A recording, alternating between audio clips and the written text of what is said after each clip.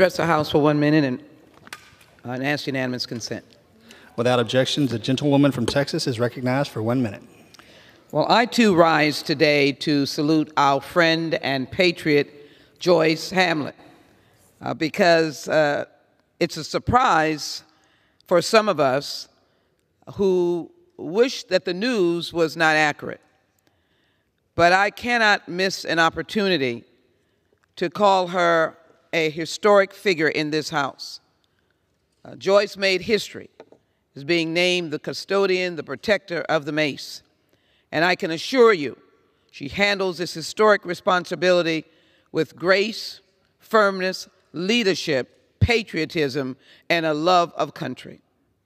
I do want to say that Joyce was a hero on January 6, 2021.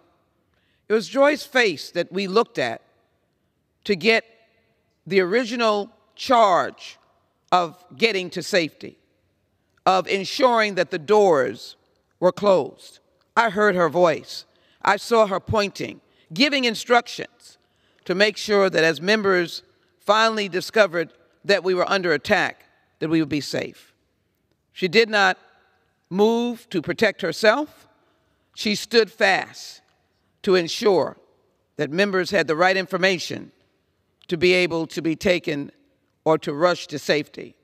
Her family loves her, her grandchildren. We don't realize that she has a wonderful responsibility of her grandchildren, and they have grown up under her, and I have watched that happen. And so, Mr. Speaker, let me finally say this that we will lose a great American.